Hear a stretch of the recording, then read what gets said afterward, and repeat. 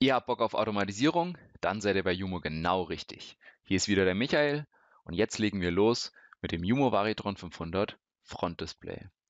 Ein bisschen genauer schauen wir uns heute die Konfiguration rund um das Thema Ethernet an.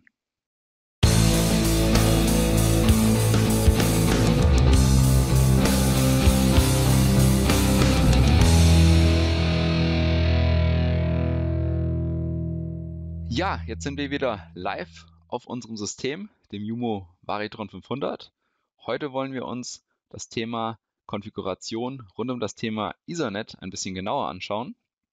Vielleicht kurz vorweggenommen, wie ihr hier unten seht, wir haben standardmäßig immer eine Ethernet-Schnittstelle bestückt, LAN 1 oder Ethernet 01. Optional ist die LAN 2 bzw. Ethernet 02. Zunächst müssen wir uns natürlich wieder anmelden, um in den Unterpunkt Konfiguration zu kommen. Dafür springe ich in unser Untermenü, in die Benutzerverwaltung, Anmelden. Hier ist wieder standardmäßig der Benutzer Master hinterlegt. Das bin wieder mal ich. Ich melde mich hier an mit unserem Standardpasswort für den Benutzer Master. Nachdem das geschehen ist, sehen wir wieder, wir sind entriegelt.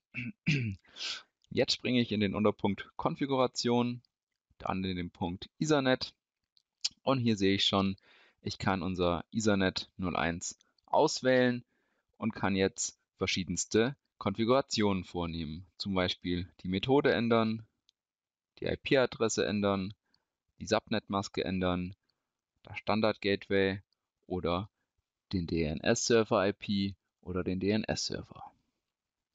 Wir springen gemeinsam hoch. Zunächst wählt man die Methode aus. Das heißt, ist DHCP an oder aus. Wir haben das hier auf automatisch gestellt, also DHCP ein. Ich könnte das natürlich auch auf manuell stellen. Machen wir mal für das kurze Beispiel. Wenn das auf manuell steht, kann ich hier natürlich dann entsprechend über die Pfeiltasten eine IP-Adresse angeben.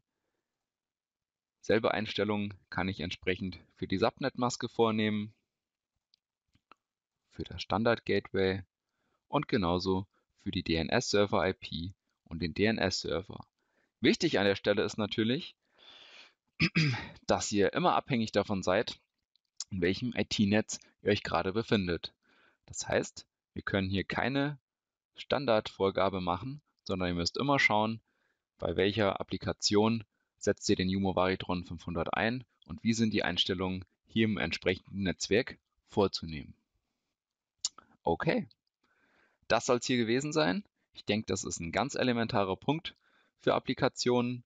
Wenn euch das Video gefallen hat, lasst gerne euren Daumen oben da und bis zum nächsten Mal.